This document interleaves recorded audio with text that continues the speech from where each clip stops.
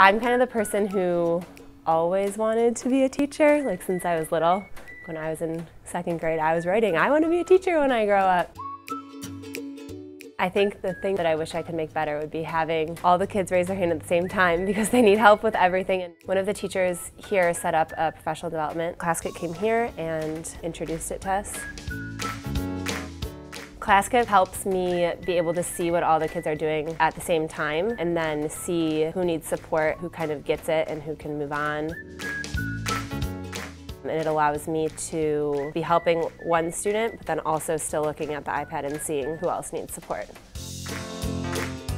Before I used Classkick, the feedback was generally a day later. I grade the assignment and then you get it back. Whereas when I'm using Classkick, the feedback can be immediate. They can know right away what they need to change, what needs to be fixed, or if they got it correct. I just think Classkick has kind of changed in the students, their perception of what school can be as well. I can be successful and like I can get something wrong and it doesn't have to be a huge deal and my teacher can help me.